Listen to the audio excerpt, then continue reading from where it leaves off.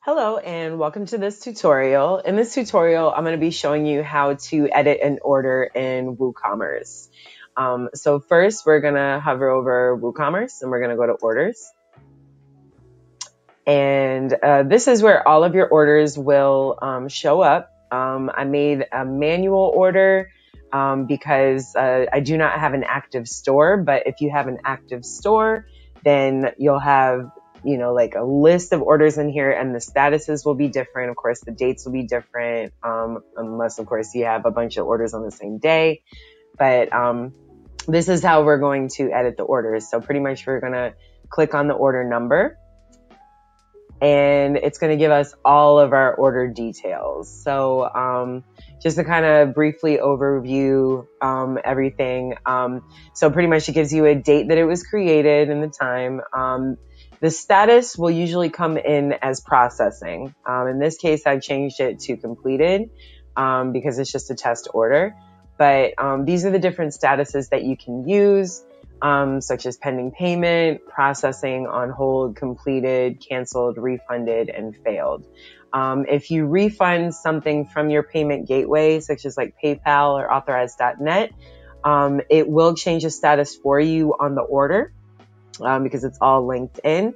Um, but if it, but if not, just know that you can come in here and change the status for administrative purposes. All right. So we're just going to keep the status as completed.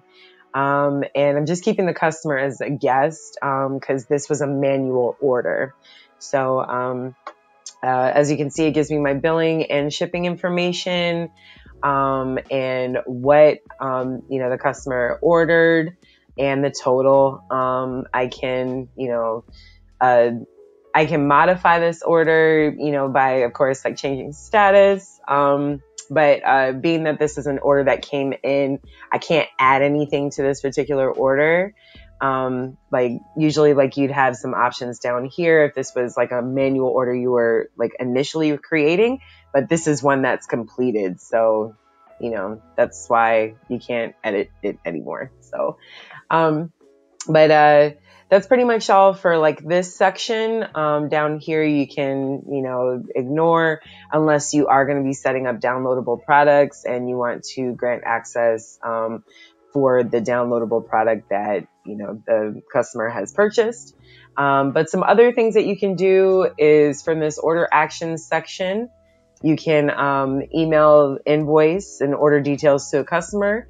You can uh, resend the new order notification. Um, and of course, if this was a downloadable product, you could regenerate the download permissions. And, um, and then of course you can add some order notes. Um, some of these are private. Um, the ones that you see right here are private. Um, but you have this option of adding a, a private note or you can send a note to the customer. So this is handy if you have a tracking number of some sort that you want to send off to your customer. So you can say, Dear customer, here's your tracking number.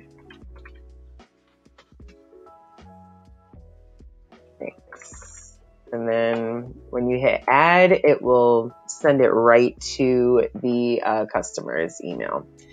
And of course, if you have made any changes in here, you can just go ahead and hit update and you're all set.